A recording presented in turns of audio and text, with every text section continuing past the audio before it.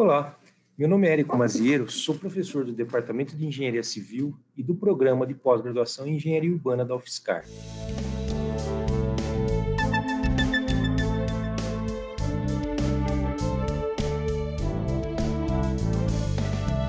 A ideia inicial desse estudo se concentra nos problemas relacionados à pouca agilidade e à falta de transparência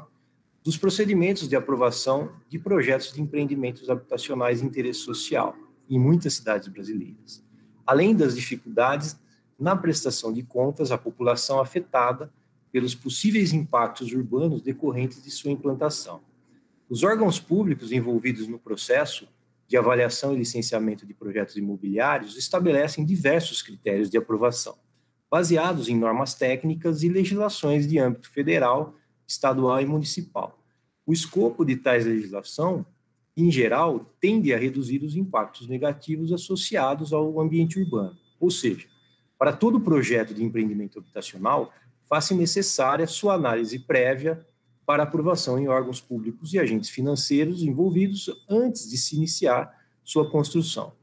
Muitos dos procedimentos necessários dentro dos órgãos públicos são complexos, burocráticos e onerosos, e muitas vezes demorados. Em muitas cidades, a verificação de requisitos técnicos ainda é frequentemente analógica, cercada de interesses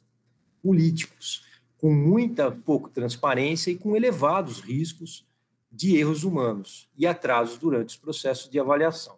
sobretudo devido à complexidade dos diversos parâmetros envolvidos nas análises técnicas e no tempo para a emissão de alvarás e demais documentos.